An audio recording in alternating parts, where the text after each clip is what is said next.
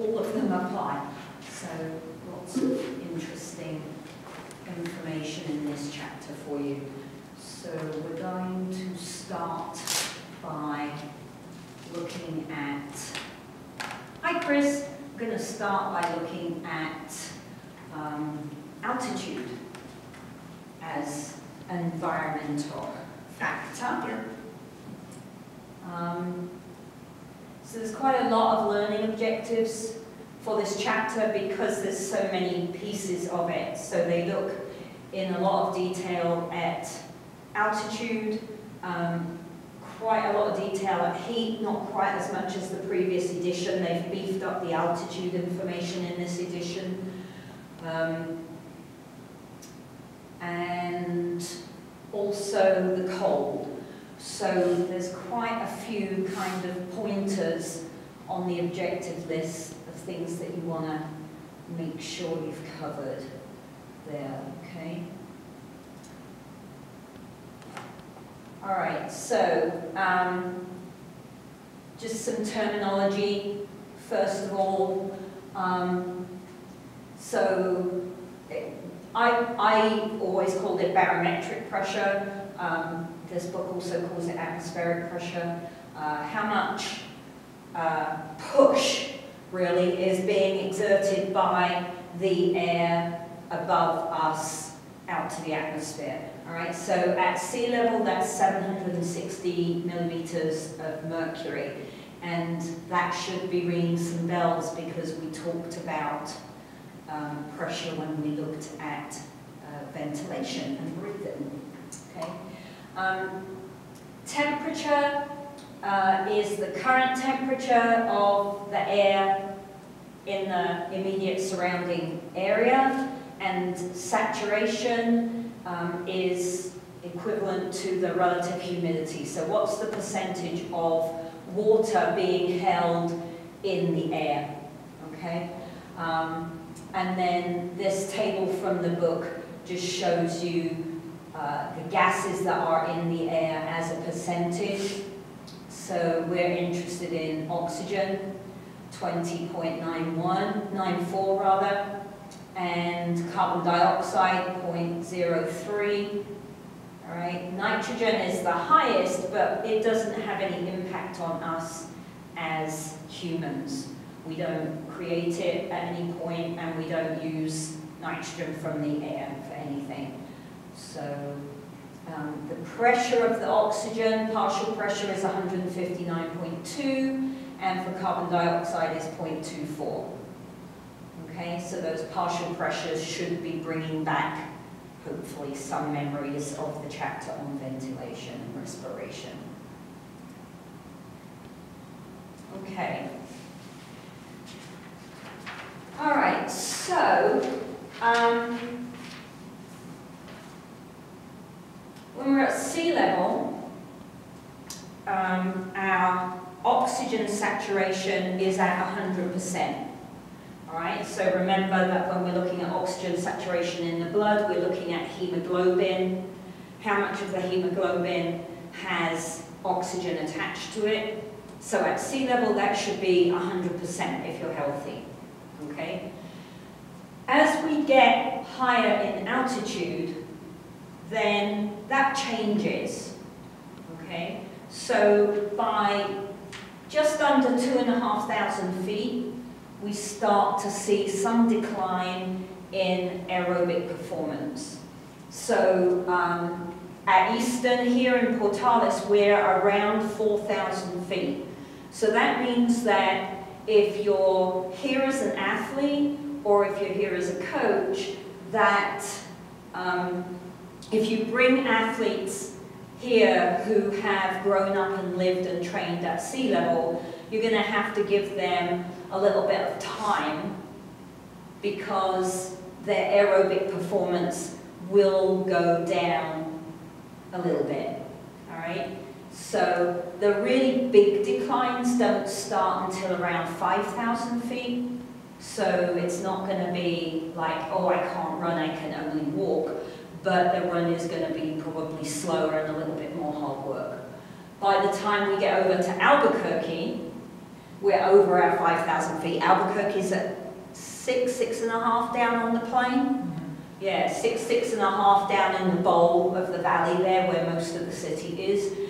So um, you're over that 5,000 foot limit there. You're going to see some pretty big um, impact on aerobic performance. Okay? Um, and when, when you read uh, textbooks or articles and they're talking about altitude, the typical definition used is 5,000 feet. So they're talking about anything over 5,000 feet.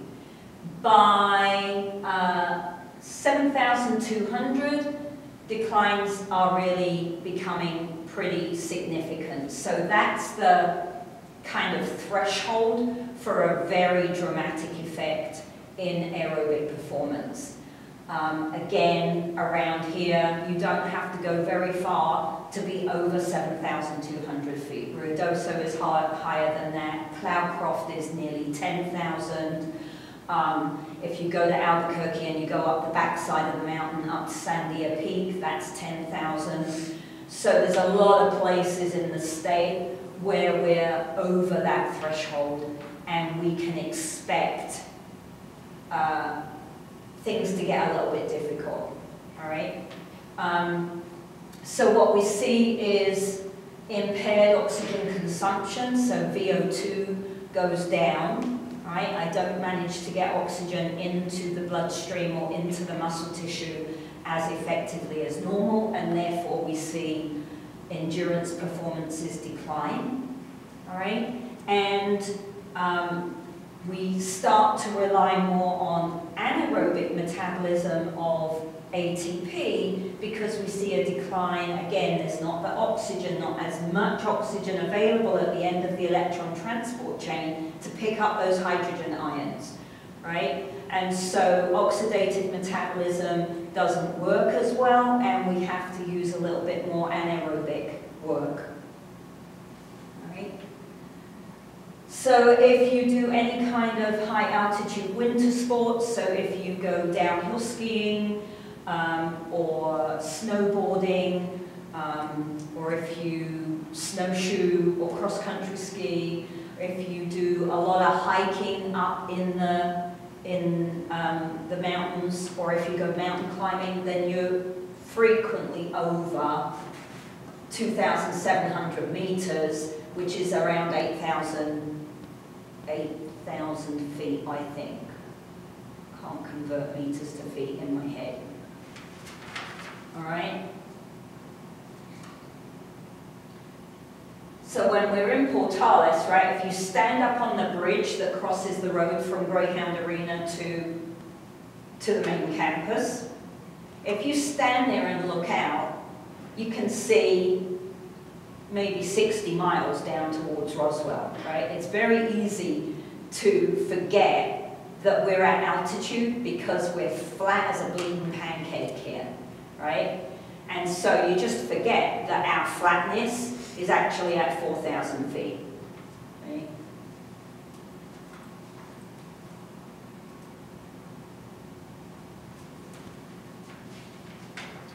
So what causes some of these performance challenges? All right, so the number one problem is hypoxia. So hypoxia it, um, stands for um, less oxygen saturation in the bloodstream.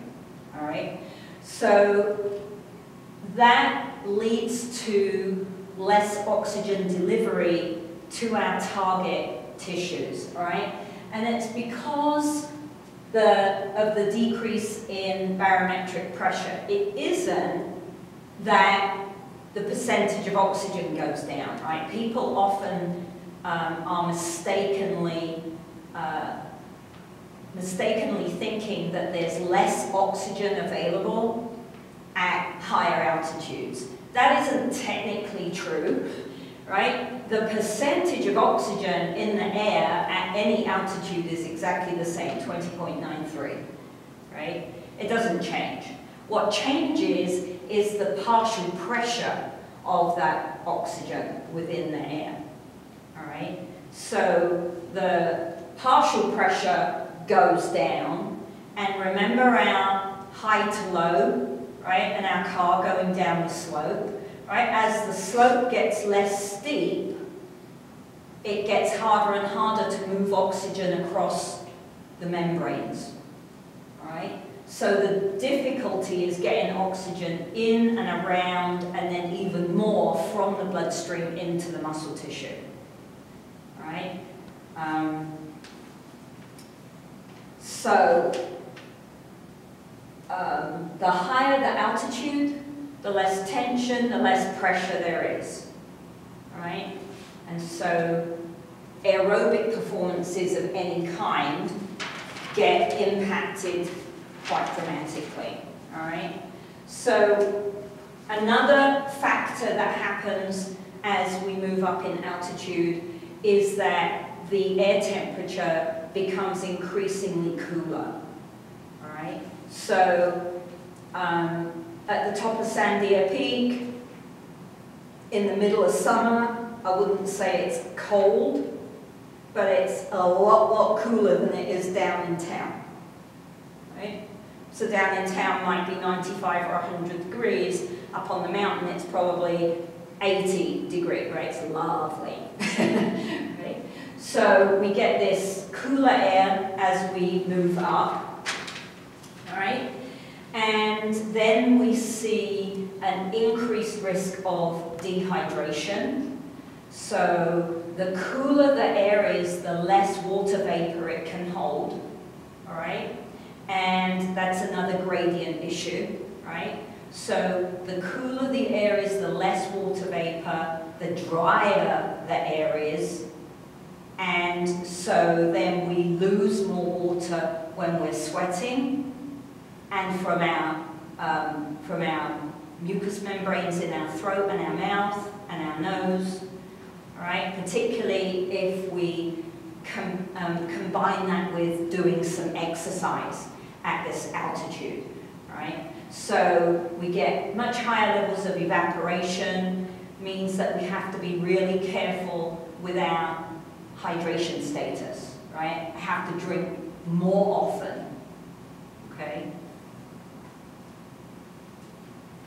And then our last issue with altitude is the fact that we have increased solar radiation, right? We are literally closer to the sun, okay?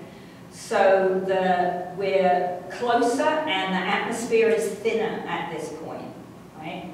So that means that we're at much greater risk of sunburn. So even if you're up doing winter sports, you must wear your sunscreen because not only have you got the sun and if you're doing winter sports, you have the sun bouncing off the snow into your face as well. So it's quite frequent for people to come back from skiing holidays with sunburn, right? Because they don't think about putting on sunscreen. Really important to use your sunscreen, right? Does mean that we get good vitamin D production, which makes us feel good, right? But that's, that sunburn means there's DNA damage in your skin, and that can lead to skin cancer, okay?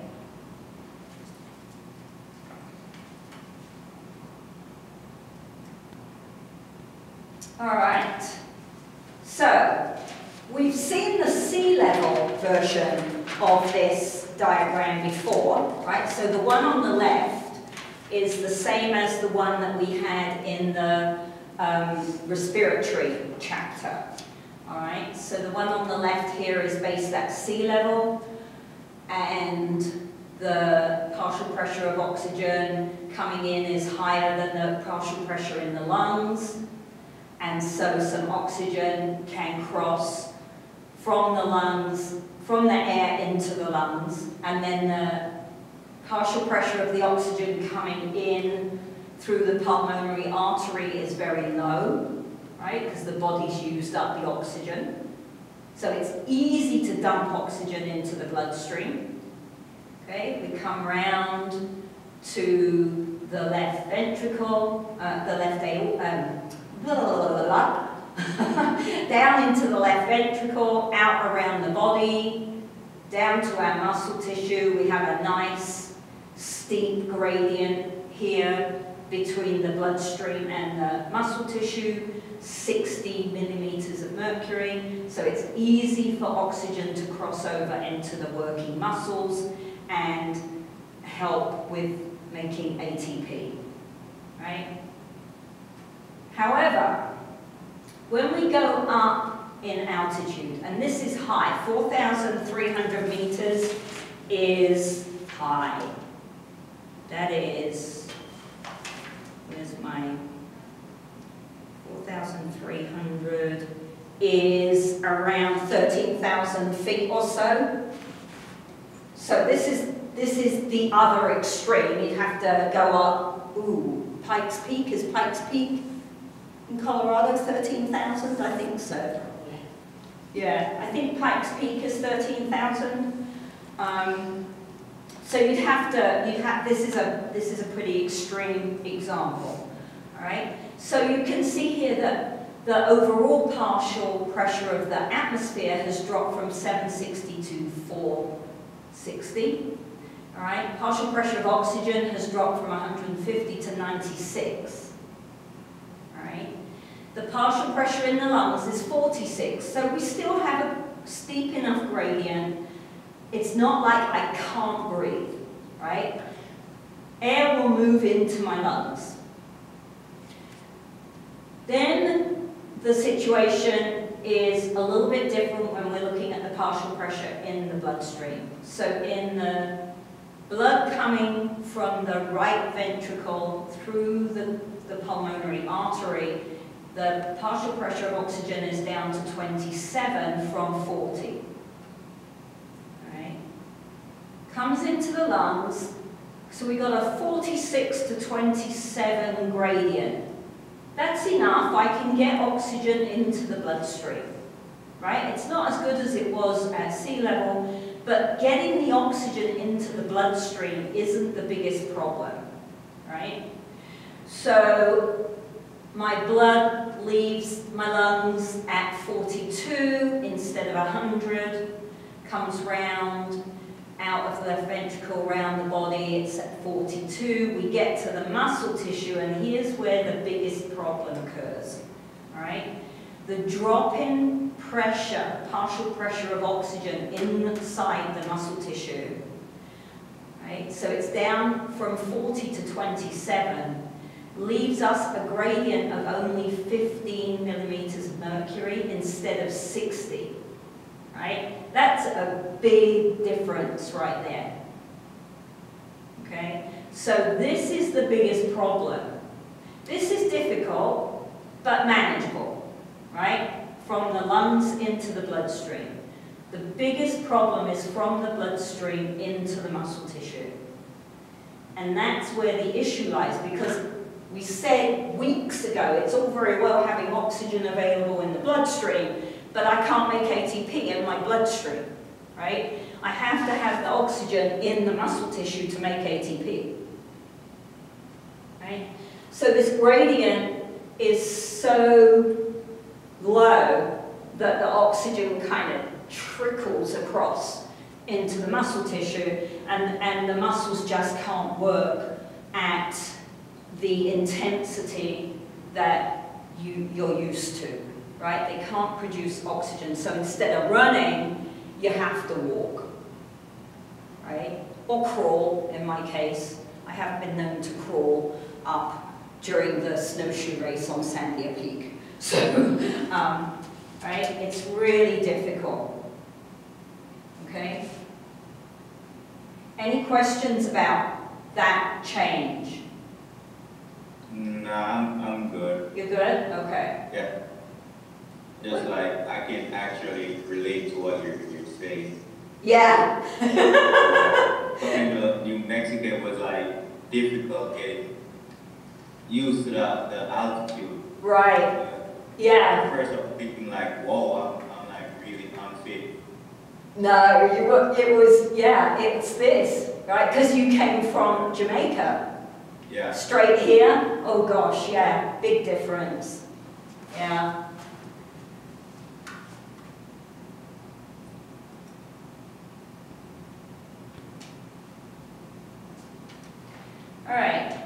So what is happening, these are the challenges that we're facing physiologically, what actually happens other than the oxygen movement at the muscle tissue, right? So the first thing that happens is we get an increase in our resting heart rate.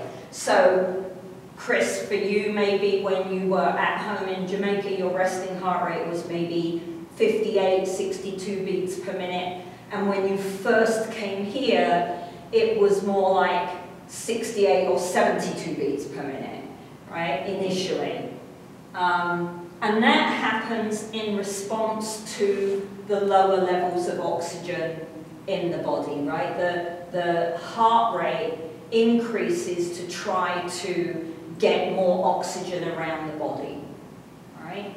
Blood pressure goes up initially, and as we've said, oxygen transport is decreased because we have lower hemoglobin saturation as we get higher up in altitude. So our overall VO2 max goes down, um, and that can be anywhere from 2 to 15%, so it could be quite dramatic at, at part, in part. Um, cardiac output goes down, um, and then we'll start to see increased hemoglobin concentrations after time. All right, so that takes a little bit of time to see that happen, but that drop in oxygen stimulates the kidneys to produce aldosterone, and that stimulates the red blood cells to produce more, the marrow to produce more red blood cells and hemoglobin. Aldosterone. Word's too long for my brain. Right? So it's not just in the cardiovascular system that we see some differences, right? We also see differences in the respiratory system. So our breathing rates change, okay? So particularly above 10,000 feet, um, our, when we're resting, we start to breathe more deeply rather than faster. So the first thing that happens is we breathe a lot more deeply. All right. Um, when we're lower than 10,000 feet, we don't see that change in breathing at rest, but we do see it when we're exercising. All right. When we start to exercise then at altitude, we get um, the tidal volume, so my, my breath gets deeper, and then it also gets faster to try to um, compensate for less oxygen crossing over the membrane. Right? So when we're trying to work as hard as we can, maximal exercise is maximal exercise. So my max ventilation is my max, whether I'm at sea level or at altitude, right? So that could be my kind of ceiling, that's it. My pulmonary ventilation can't get any higher than that, right? I can't breathe more deeply and I can't breathe faster, okay? Um, the oxyhemoglobin curve shifts to the left because instead of being acidic when we see it shift to the right, it gets more alkaline um, and shifts to the left and we're losing a lot more carbon dioxide at that point. So that's similar to that swimming example I gave you um, back in that other chapter is, you know, we're breathing deeper and faster, and we're blowing off carbon dioxide, and so we get this alkaline situation. Right? Um, the kidneys can compensate somewhat by shifting the levels of the molecules that they're excreting, so they start to shift more bicarbonate. Um, and over time, so now you've been here long enough, right, you wouldn't notice that you're breathing deeper or you're breathing faster anymore, right? So uh, we see adaptation in the cardiovascular system, but also in our pulmonary ventilation.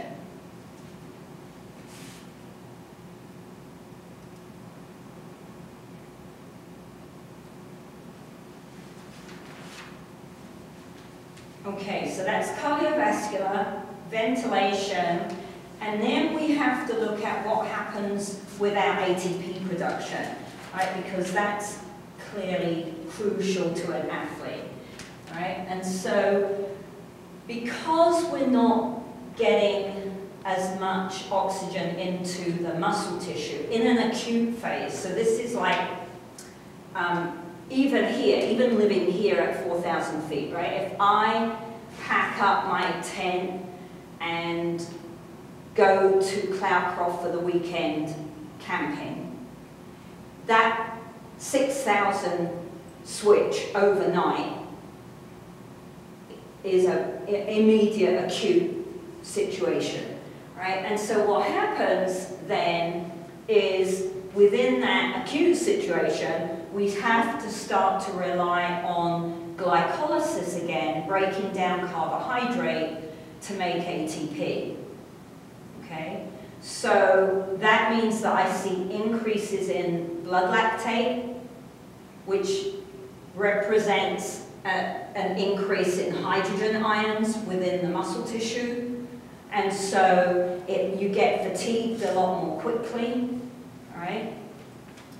also means that you're going to absolutely crave carbohydrates, right? So you better hope you pack some good pasta or rice to cook in your little saucepan over your campfire because you really do start to crave the carbs, okay? Your body switches back from using, it can't use fats anaerobically, remember. So in glycolysis, the only fuel I can use is carbohydrate.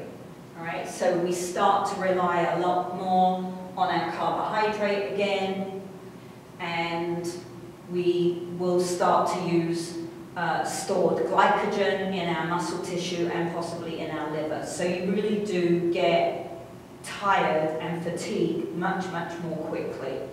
All right. Now, if we're only at moderate altitudes, so moderate from four to like seven, six, seven, right? Then people who've been there long enough so we've got some chronic adaptation by now, right? Then those acclimatized people tend to rely a lot more on lipids and fats than we would if we weren't acclimatized. So once we get used to being at altitude, the body's really clever at adapting our ATP production so that it can switch back to aerobic metabolism and use some of those fats that last a lot longer, right? But that takes time. It doesn't happen in a week, right?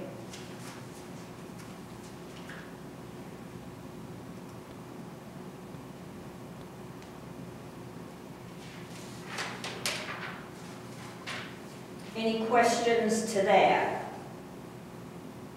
I'm good. Good, all right. Yeah.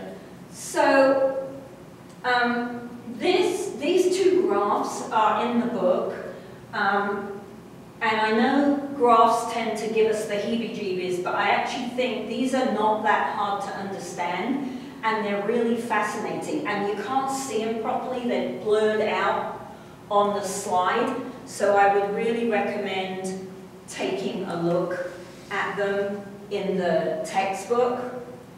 Um, so if we're looking at short duration performance, so um, like under 20 minutes, right, then we're only looking at the aerobic activities that would be affected. So if I'm a sprinter, I'm a jumper, I'm a thrower, we really shouldn't see any decrease in performance at altitude because they're all using ATP-PC or the first part of glycolysis. They're not getting anywhere close to using oxygen to make ATP.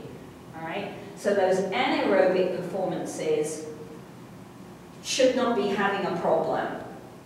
And I say should not because we'll look at some other things that can happen. All right? So the altitude itself is minimal um, for even short aerobic activities. So if I'm doing um, what would be, so like a 400 meter hurdle, it hovers around, I think, that three minute mark. It's a killer event, right? And so you might see a little bit of impact there, but maybe not. Um, so there could be some psychology going on, preparation. Right? Our long duration stuff is where we really see the impacts. All right? So we see speed go down a lot. Right? And let me try and see if I can see this without the light on. Here we go. So, for example, um, let's look at the left-hand side, the male performance. So the x-axis is altitude, and the y-axis is speed as a percentage of their sea level speed, right? So the dotted line in the middle here is sea level. And then what we see is if it's um, a 50 meter, 100 meter, 200 meter, the times speeds are actually faster. And that's because there's less air pressure, right? So they actually get better times in those events. You quite often see world records for sprints and, and especially for throwing at altitude, right? But if you start 400 meters is starting to look more normal and then a lot slower than I would be at sea level as my 800 meter, my 15, my mile, my 5,000, my 10,000 and my marathon. So you can see, here's my speed for my marathon compared to my marathon in London. Right?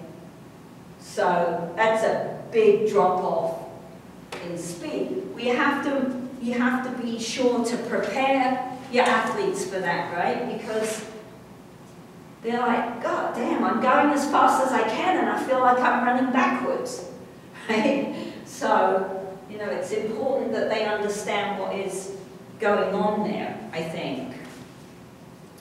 Um, do I want to change that slide? No, not yet.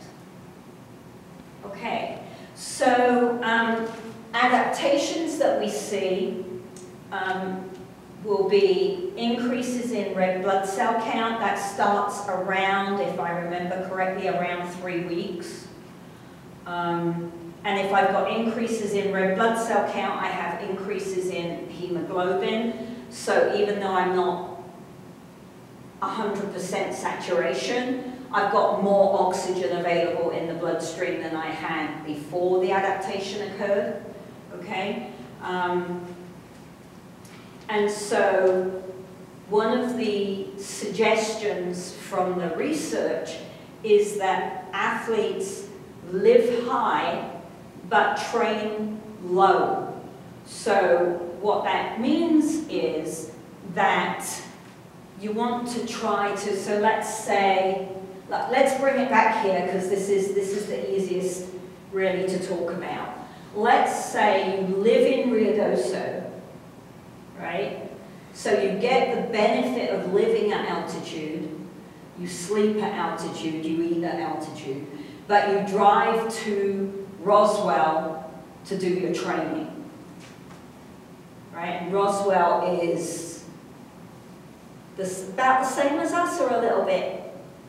It always feels like you're going downhill somehow to Roswell, but I don't know if that's true. It's close, right close. Because you pop off the edge of the plain, don't you, as you go in. So Roswell might be a little bit lower than us, but it's about the same, right? So you, you live in Rio Ruidoso, but you don't want to train in Rio Ruidoso because your intensity and the volume and the work output is so much lower, right? So you come and train in Roswell, now you've got all these extra red blood cells carrying all this extra oxygen, and you can train pretty hard in Roswell and then go home and get the benefits. So live high, train low, or lower anyway, right? That's kind of the recommendation from the research.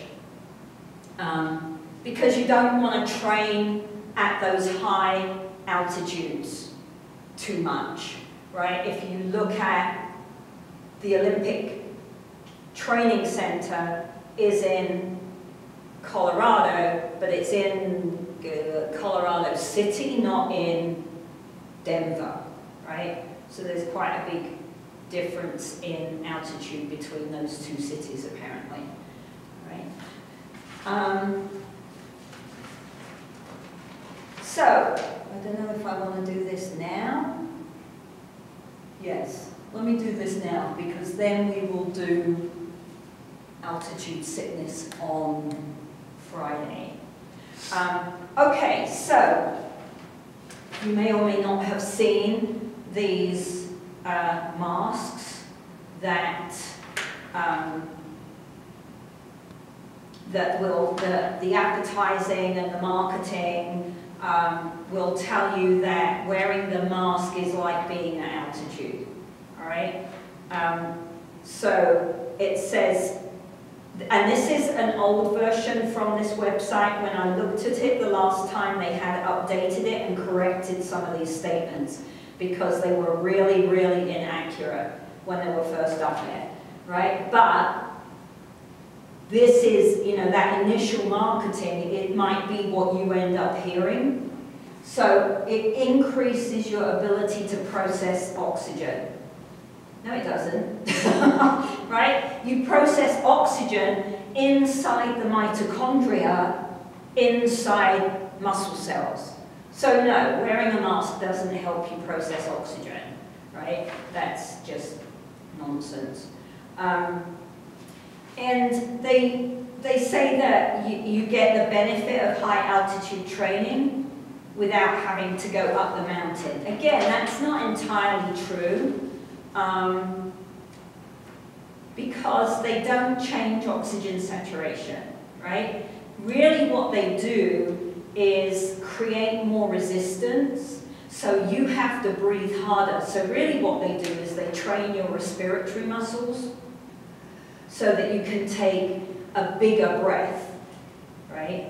They don't really, um, and then they say things like they condition your lungs. No, you can't condition lung tissue. It's like jello, right? It, it doesn't change. There's no adaptation in lung tissue, so that's not true, right? Um, your lungs will be trained to take a deeper breath. Not exactly true. The respiratory muscles can change the volume of your thoracic cavity more so that you can take a deeper breath, right? It has nothing to do with the lung tissue, okay? So these are the kinds of things that as an educated scientist, right, you can hear these comments made about things and go, no, no, no, that's not how that works, right? Because they made a lot of money off of these initially. Um, I don't know how popular they still are, um, let's see. Uh, increase the elasticity of the alveoli. No, you can't do that because there's no contractile element in the alveoli, right? So you can't change anything to do with the lung tissue, all right? So you just have to be a little bit cynical. Would wearing one of these while you're training help you to take bigger and deeper breaths when you're up at altitude? Very possibly. Does it have anything to do with oxygen? Not really, right? I mean, you might get a, you get a little bit more oxygen possibly into the muscle tissue, but only if you've got the red blood cell count increase to pick up oxygen, right? So it's a little bit of a scam in my view. On the other hand, I have to own up, I've never tried one. Have you ever tried one, Ryan? No. Nah. Yeah, I, I mean, I've seen like football players on the television wearing them when they're playing Denver or somewhere, but I just don't, I mean, it, it doesn't get more oxygen. You can't wear it on the day and get more oxygen into your body. That's just not, that, that's a fallacy, okay? So, yeah, I think that's where I'm going to stop for today. Um, Friday, I want to look at altitude sickness, and I will probably, because they cut the altitude sickness section down a little bit in this edition of the book, so I will probably pad it out just a little bit because of where we live. I think it's important that you understand how serious that can be and what the symptoms are so that you can recognize it if you or anyone you're with is beginning to develop that. So I'll pad that out just a fraction um, and then we will move on. We've got just a couple of slides here on altitude and then we'll start the, um, the heat information. Okay? Okay. All right? If you have any questions, if you think of anything, you know, now you, as you said, you've had first-hand experience of this, right? Yeah. So as it's kind of mulling through your head, even if you're not thinking about it purposely, it, it could still be floating around in there, setting off ideas. So if, if anything comes up and you want to um, want to ask, we've got lab tomorrow and we've got office hours tomorrow. I've got office hours this afternoon, but I think they're fully booked with students. So, um, you, if, if you, something comes up, you can try, but I have a feeling that I have no spare time in office hours this afternoon. It's okay. So, all right. Okay, well, apparently tomorrow is going to be even hotter than today, which is insane. Um, and I'm the dirt in the backyard like crazy, trying to make some weeds grow or something grow so that when the wind blows, I don't get this much dirt on the windowsill because it's driving me nuts. Um, anything else? What have I forgotten? Tomorrow's lab will be doing chapter 15, so it won't be an actual lab. It'll be more a lecture because there isn't time in the schedule to do chapter 15 in class. So it will be a very brief look at chapter 15. Okay? Okay. Alrighty. Well, have a good rest of your day. Stay safe. Wear your masks. And I'll see you tomorrow. Yeah, Take care. See you tomorrow. Bye.